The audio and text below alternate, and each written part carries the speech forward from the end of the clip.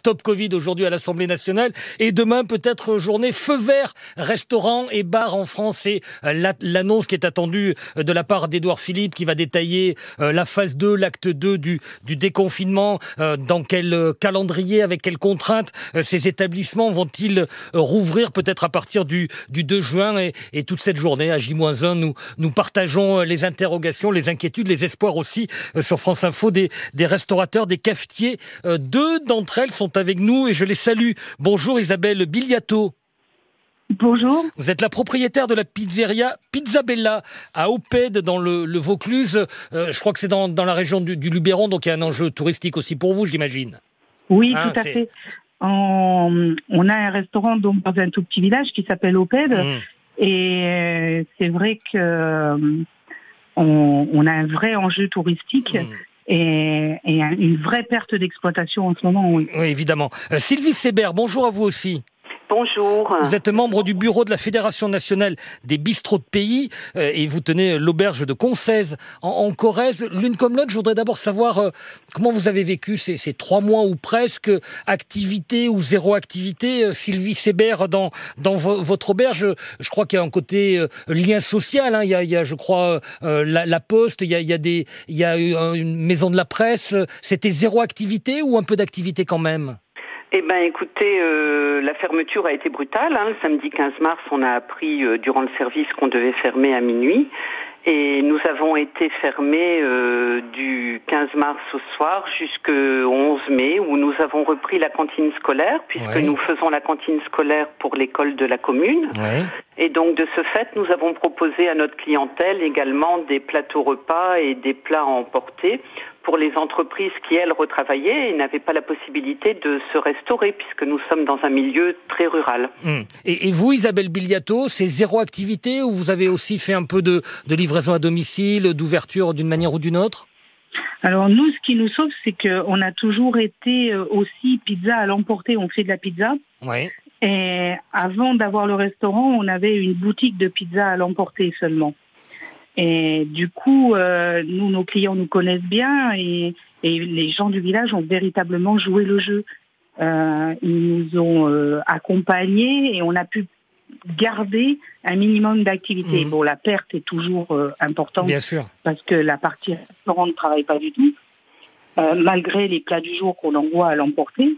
Euh, mais, mais oui, la perte est, très très importante. Mmh. Mais, même, même dès le début du confinement, vous avez fait ces, ces, pizzas emportées, donc vous avez quand même toujours un peu travaillé.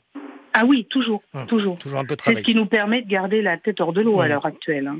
Bien. Euh, on a un restaurateur juste en face de chez nous, un collègue qui lui n'avait jamais fait d'emporter. Au bout de quelques temps, il a essayé de faire de l'emporter, mais c'est vrai que c'est très compliqué. Même si quand vous n'avez pas l'habitude, même si les gens jouent le jeu, c'est difficile de communiquer. C'est mmh. vraiment très difficile quand on n'en a pas l'habitude. Bien entendu, donc toutes les deux, même si vous avez eu un peu d'activité ces dernières semaines, j'imagine que vous attendez avec euh, impatience et pas mal d'interrogations aussi euh, le, ce que va dire Edouard Philippe demain, quand vous pourrez euh, rouvrir très probablement le, le 2 juin. Vous savez, Sylvie Sébert, à quoi va ressembler votre, votre auberge la semaine prochaine? Vous avez déjà une idée précise? Ben, on a une idée dans le sens où, a priori, euh, on s'achemine vers une distanciation d'un mètre entre les tables. Donc, euh, pour nous, bistrots de pays, c'est un réel problème pour euh, certains de nos bistrotiers, puisque de par nature, il y a de très petits établissements. Et ça va être, même si pour nous, nous sommes relativement peu impactés, puisque nous avons une grande surface donc on pourra assurer quand même un nombre de couverts suffisant pour notre subsistance. Mais je pense à mes collègues en Ardèche, dans la Drôme, dans l'Oise, qui ont des petits établissements mmh. et où malheureusement, s'ils peuvent faire que 20 couverts, ça va être compliqué. Donc sur ce dernier point, la terrasse, ça va être un atout crucial pour limiter la perte de chiffre d'affaires. Oui, pourvu que la belle saison se, se poursuive et qu'il euh, puisse y avoir le maximum de terrasses. Tout à fait, et que surtout le, les autorités euh, acceptent donc de, déployer une terrasse devant, devant ces restaurants, puisque nous, en tant que bistrot de pays, 46% des bistrots, leur bailleur est une collectivité publique, hmm. principalement les mairies. Donc il faudra que les mairies euh, aident d'une certaine manière, facilitent cette extension. Vous savez ce qu'il en est, par exemple, euh, chez vous? Vous avez déjà cette autorisation? Eh ben, chez nous, le maire a joué le jeu à 1000%, mhm. puisque déjà, il nous a fait la gratuité du loyer, ce qui n'a pas été le cas partout. Et nous avons anticipé, euh, il y a 15 jours, nous lui avons demandé une extension de terrasse qu'il a naturellement acceptée et il est, il est derrière nous, il nous soutient euh, à 1000%. Mm, mm. Et j'espère vraiment que tous mes collègues, euh, ça pourra en être de même parce que ça en va de leur survie. Évidemment, vous avez la même bienveillance de votre côté, Isabelle Biliato à, à Oped, dans, dans, le Vaucluse. Là aussi, l'enjeu de la, la terrasse, pouvoir d'une manière ou d'une autre s'étendre un peu? Alors nous, le, le truc, c'est que la mairie a changé d'étiquette mm. lors de la dernière élection. Et pour l'instant, le nouveau maire n'a pas pris ses fonctions. Il ne les prendra que ce soir. Mais il nous a dit qu'il nous accompagnerait, bien sûr, et qu'il nous donnerait une possibilité d'extension avec gratuité, bien sûr. Hum, et, vous aussi, euh, évidemment, le mètre de distance entre chaque table, ce qui veut dire euh, manque à gagner de quel ordre? C'est quoi? C'est du 20, 30% euh, un peu plus encore? Euh, ben c'est pas compliqué. Nous, notre terrasse, on peut rentrer 20 personnes sur la terrasse. Là, à l'heure actuelle, on pourra en rentrer à peine 8. D'accord, donc deux fois moins, hein. plus de deux fois moins. Et l'intérieur, c'est pareil Et, à l'intérieur, c'est pareil. Mais, mais pas le choix. Ce mètre de distance, il sera, il sera obligatoire, même s'il n'y a pas les, les 4 mètres carrés qui seraient encore pire, mais le mètre de distance, on ne peut pas faire sans. On ne peut pas faire sans. Par contre, nous, ce qui nous intéresserait, c'est que plutôt que de ne faire que des annonces télévisées, qu'on reçoive au moins des circulaires, quelque chose qui, qui nous permette véritablement de travailler. Parce qu'on ne sait pas dans quelles conditions et dans quelles normes sanitaires on va reprendre. Oui, vous n'avez rien eu, ni, l'une ni l'autre. Rien reçu ordre. Euh, euh, Sylvie Sébert, pareil. Vous qui pourtant euh, être membre de, la Fédération nationale des bistrots de pays, rien non plus de cet ordre-là. Nous n'avons rien eu d'officiel, nous n'avons eu que des bruits, donc qui diffèrent des différentes sources, mais nous n'avons rien eu d'officiel. Donc euh, pour le moment, on essaye d'anticiper avec euh, les directives qu'on a cru euh, devoir s'appliquer. Mmh. Mais nous sommes aujourd'hui mercredi, la réouverture euh, nous sommes en, zone verte, donc serait pour mmh. lundi. Ça va être aussi précipité mmh. que la fermeture. et, un restaurant, on n'appuie pas sur un bouton et ça sort pas comme ça. Ben, on, le comprend bien. Et vous restez évidemment toutes les deux. On poursuit la, la conversation. On se demande quand même comment vous avez anticipé tout ça à une semaine de l'ouverture normale hein, dans, dans, ces zones vertes de ces euh, cafés-restaurants. Elle n'avait euh, toujours aucune nouvelle officielle et, et aucune consigne claire pour les mesures sanitaires nécessaires pour la réouverture de leurs établissements euh, qu'en est-il de la zone rouge où là c'est peut-être encore plus euh, compliqué? Voici le reportage à Paris de Benjamin Elie. Trois jours par semaine, Benoît Gauthier fait de la vente en emporté. Il fallait faire rentrer un peu d'argent. En tant que patron, enfin moi je suis un TNS, travaillant non salarié, et du coup nous on a zéro zéro aide, on rentre dans aucune catégorie euh, qui a été indemnisée. Donc voilà, c'est bien parce qu'on a quand même le chômage partiel par rapport à nos employés. Il y a quand même des choses qui ont été mises en place, mais bon pour la peine, moi j'ai zéro salaire, donc moi j'ai quand même un peu le, le loyer à payer, les petites charges et les petits crédits qu'on avait à gauche à droite. Benoît Gauthier, chef des restaurants Le Grand Pan et Le Petit Pan dans le 15e arrondissement de Paris.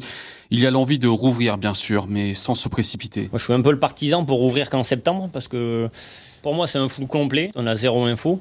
Et donc, du coup, on a beau essayer de préparer. Donc, est-ce qu'il va falloir des plexis? Est-ce qu'il faut les 4 mètres carrés qu'ils ont parlé? S'ils nous parlent de masque, alors moi, les serveurs, ça devrait aller. Mais nous, en cuisine, où on fait que goûter toutes les 5 euh, minutes, voir l'assaisonnement. Des règles sanitaires qui pourraient avoir de lourdes conséquences. Est-ce que voilà, moi, c'est vrai que sur mon restaurant 40 places assises, si on applique pour le moment les 4 mètres carrés, moi, je vais faire 10 couverts. Enfin, donc, euh, si je dois faire 10 couverts le midi, 10 couverts le soir, bon, déjà, c'est sûr que je pourrais pas garder mes 5 employés que j'ai euh, dans mon resto. Pour maintenir les emplois, Benoît Gauthier n'espère qu'une chose, que la prise en charge du chômage partiel par l'État. Jusqu'à la fin de l'année, ça serait vraiment très bien. Soit prolongé. Voilà, Benjamin Illy, reportage avec un restaurateur parisien. Vous, euh, Isabelle Biliato, à Oped, dans le Vaucluse, vous nous disiez que la terrasse avec euh, le mètre de distance, hein, sans parler même des 4 mètres carrés, c'était environ plus de la moitié, hein, sans doute, de, de tables et de, de, chaises en moins. Vous vous posez la question, l'une comme l'autre, de faut-il vraiment ouvrir maintenant ou attendre euh, septembre? Isabelle Biliato, par exemple euh, dans notre cas, il est impossible d'attendre septembre. Si on attend septembre, euh, vous compterez un restaurant de moins en France. On ne peut pas continuer tel que l'on connaît à l'heure actuelle. Il nous faut absolument réouvrir le restaurant. Si on ne réouvre pas, on va mettre la clé sous la porte. Oui, vous n'avez pas le choix, d'une certaine manière. Ah oui, oui. Comme beaucoup, comme beaucoup de mes collègues, on n'a pas le choix. C'est votre cas, Sylvie Sébert, également, en Corrèze? Il est, inenvisageable de rouvrir qu'en septembre. mis à part l'activité, le, côté économique, nous avons besoin de travailler. C'est notre métier. On a été privé du jour au lendemain de faire notre métier.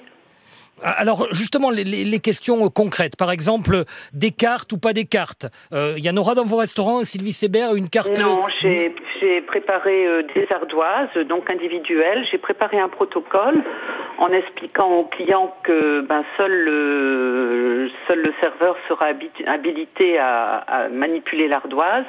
Donc euh, nous avons mis en place également un protocole de désinfection des tables, mmh. des chaises, de tous les points contact avec des virucides.